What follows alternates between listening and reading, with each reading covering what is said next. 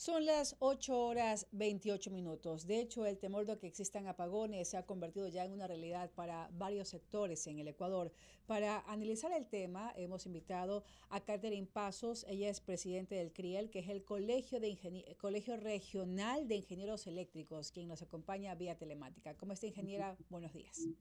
Buenos días, Yolanda. Eh, muchas gracias por la invitación. Es, eh, bueno, estamos preocupados, creo que todo el, país, por la situación, la crisis energética que estamos viviendo al momento. Ingeniera, ¿qué pasa realmente en el país? ¿Realmente esto es una falta de previsión por parte de las autoridades eléctricas en el Ecuador? Bueno, de hecho, sí, es, eso.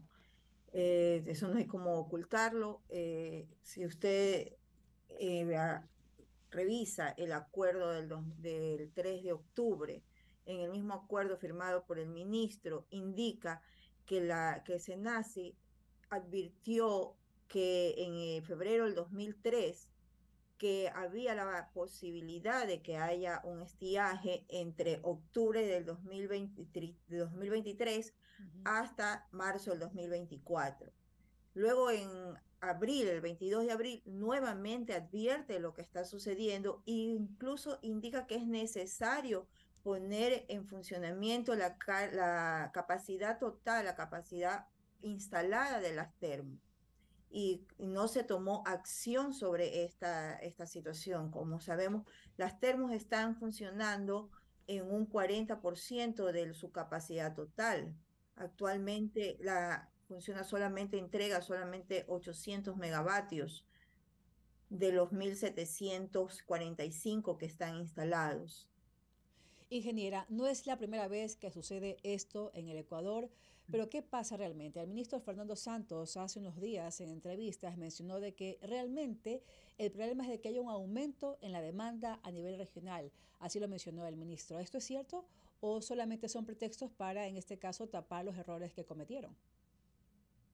Eh, históricamente estamos, vemos en, la, en las mismas eh, eh, estadísticas que presenta CELE, que el, la demanda o el consumo que se necesita en Ecuador es 4.600 megavatios. ¿Por qué no estábamos eh, previstos ver esta, lo que iba a suceder, siendo advertidos por SENACE? Eh, realmente para mí, para el Colegio de Ingenieros Regional de Ingenieros Eléctricos Electrónicos Litoral, esto es una falta de voluntad y de intención de realizar las cosas a tiempo, en el ministerio. Eh, realmente nosotros, eh, una de las, de las sugerencias que nosotros incluso hacemos al nuevo gobierno es que el Ministerio de Energía y Minas eh, se maneje, la parte de electrificación se maneja de manera independiente a este ministerio como era antes, ya que no le dan la importancia necesaria al a este sector estratégico tan importante como es la electricidad. Porque, como usted sabe, los quienes dirigen estos ministerios son profesionales que no tienen el conocimiento o el expertise o la intención, digámoslo así también, de dar, de dar soluciones. ¿Por qué durante todo este tiempo no se, no se ha cumplido con el plan de, de electrificación? ¿Por qué no se lo ha cumplido? Nosotros como colegio pedí, hemos pedido ¿Cuál ha sido el cumplimiento? Lo pedimos en octubre durante, durante los primeros meses, ¿cuál había sido el cumplimiento de este plan de mantenimiento? Y no se nos, no se nos informó, no se manejan las cosas con la, debida transparencia. No está, no, el, ministro Santos y, y, los que dirigen CELE probablemente no están siendo claros en cómo se está manejando el sector eléctrico. Ingeniera, ahora, eh, a propósito que usted menciona al presidente entrante, porque realmente el presidente Lazo ya no puede hacer nada, está ya a poco tiempo de culminar, en este caso, su mandato. En tanto, eh, cuando todavía era candidato Daniel Novoa, de hecho, en el debate inicial, él habló de, a breves rasgos de que invertirá en energías renovables. Incluso durante el debate presidencial de primera vuelta, aseguró que hay mafias enquistadas en las empresas públicas que brindan el servicio, en este caso, de energía eléctrica para el Ecuador.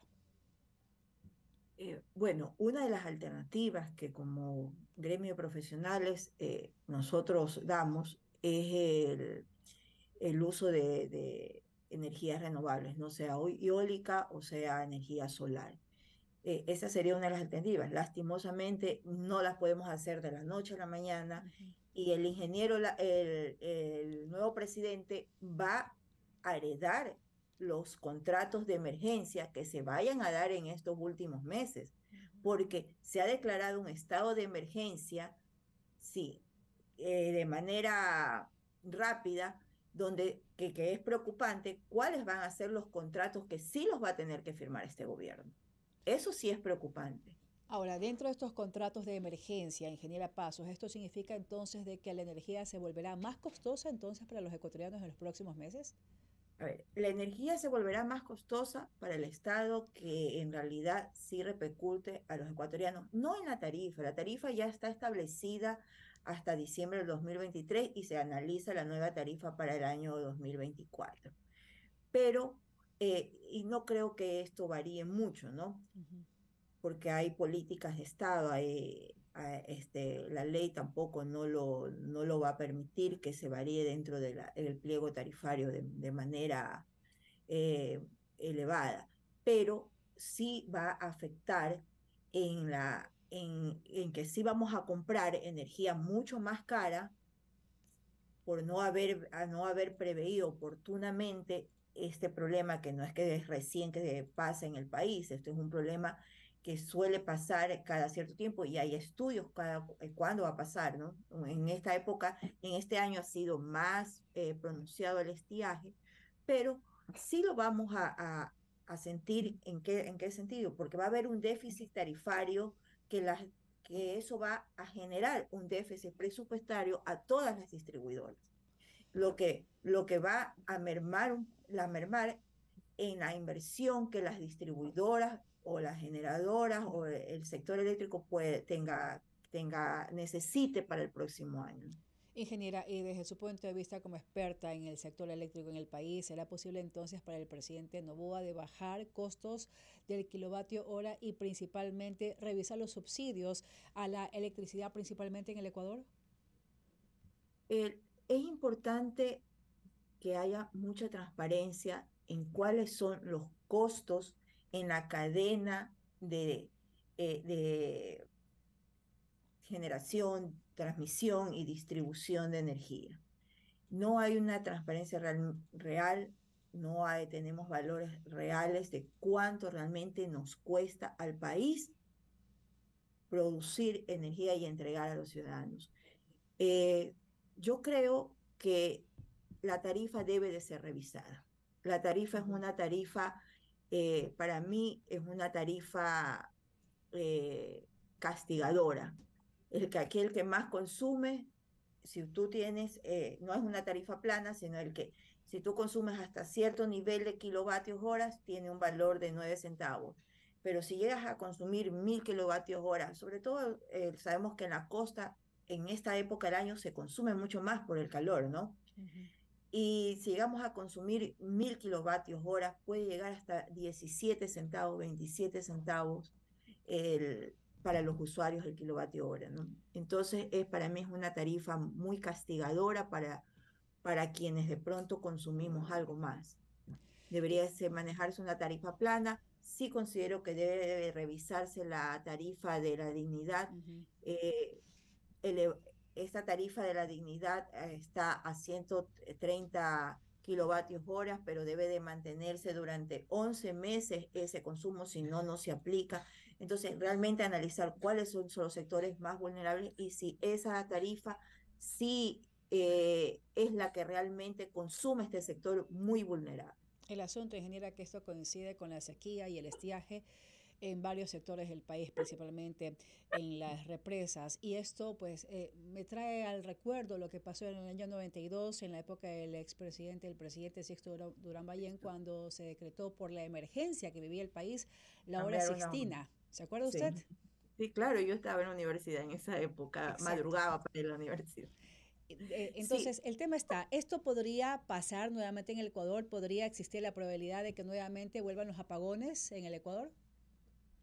Eh, debe de haber, mm, vamos, esto, esto va a ser inevitable. O sea, si no se tomaron medidas a tiempo, eh, debe de haber una coordinación y un cronograma de razonamiento de energía.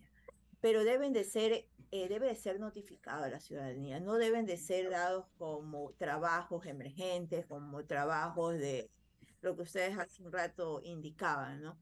Eh, eh, debe de ser coordinado y debe de ser eh, evaluado en qué horas y qué sectores y qué población debe de tener si el, su, su razonamiento de energía.